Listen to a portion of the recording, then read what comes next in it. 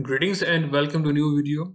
So guys, you have been asking me how to install Zebra or Cydia on the Palera1n jailbreak. As you can see, I am jailbroken on iOS 16.2 and it's an iPhone 8 Plus. Now you have the option to choose your package managers from within the Palera1n Loaders application. Simply hit this gear icon, scroll up and you can see package managers. So first of all, let's install Zebra. Just tap on it and here you can see it has installed Zebra and it will show up here.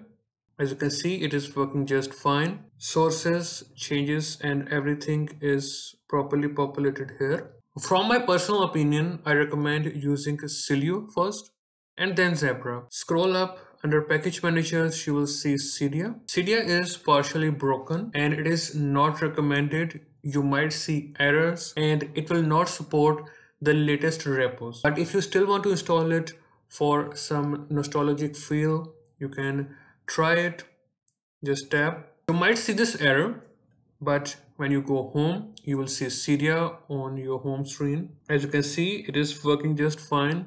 You can see the iOS version I am on 16.2 iPhone 8 Plus. You can check out the sources, changes installed, these errors might get fixed in a later release of the Palera1n jailbreak. One more thing guys, if you are now getting this error when you install anything using Cydia that says Cydia depends gzip, you can simply fix it by opening the Palera1n loader and now simply hitting install. Now simply hit respring. As you can see, this error is now fixed. And now you can install the packages normally. And now you can see that Zebra and Cydia are both opening normally. That's all for this video guys.